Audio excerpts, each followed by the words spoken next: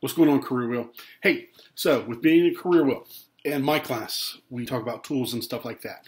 But part of what we do is we also have to talk about budgeting.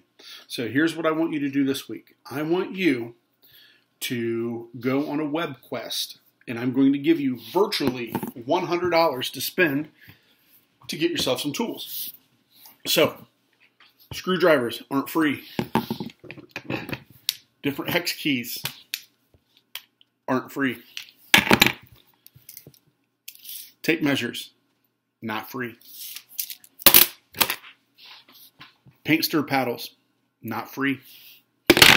And different blades and cutting tools, still not free.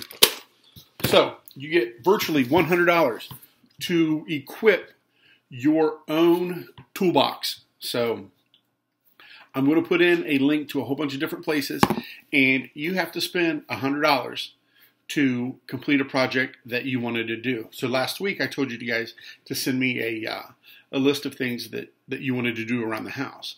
Now it's your turn to do the, uh, the shopping part. So here's what I need you to do.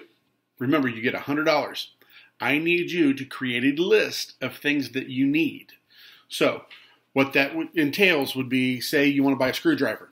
Tell me what the screwdriver's for and how much it is. Say that you want to redo drywall. Well, you still have to cut drywall. So tell me how much the drywall is and tell me how much your knife is. So keep a list, type it up in a Google Doc and share with me, okay? Super easy, right? That's it. That's all we got going on this week.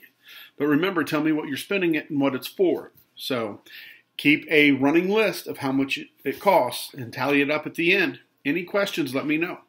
Don't be afraid to shoot me an email or um, however you can get a hold of me. I know some of you have my Snapchat. That's probably the easiest way if you have an instant uh, question.